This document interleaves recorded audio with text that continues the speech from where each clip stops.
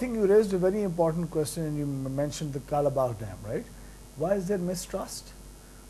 There is mistrust on the Kalabagh Dam issue because the smaller provinces think that Punjab being at the source of the water is going to be having more control over it. Because, Absolutely. Because they think Punjab is bigger, stronger, more resourceful, that Punjab always exerts itself on issues like the Kalabagh Dam nationally. Mm-hmm. So in my opinion, justifying the size of Punjab itself will have will create a better environment for all our federating units.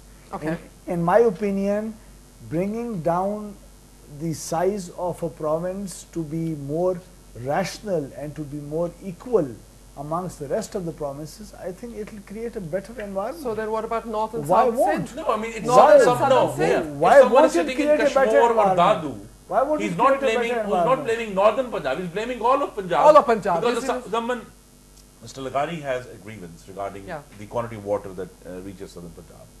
But there is Pakistan below that also, Yeah. south of uh, South Punjab.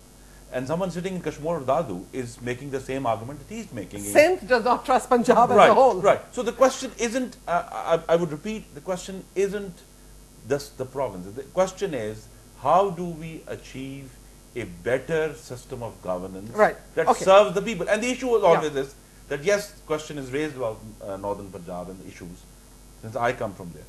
There's also a question of population also. I mean, the, you can't just No, we ignore can't the, the ignore that. population. I'm So these, this has to be, I think, what we began with, I think, uh, with Mr. Leghari said, I think was an Yeah. eminently sensible suggestion that just like we have reached a speak National to Finance Commission award, Yeah. a provincial financial commission, which takes into consideration The issues of- population, You're not doing it. backwardness. Why aren't you doing it? We are going to do it in this budget, inshallah. You're going to do it in this budget? Yes, That's yes, it's breaking already, news. it's already. Okay, yes, you know what? I'm going to take a short break here. Uh, when we return, I'm going to ask a critical question. Here's a, one of the solutions that came up in this program, a provincial finance commission.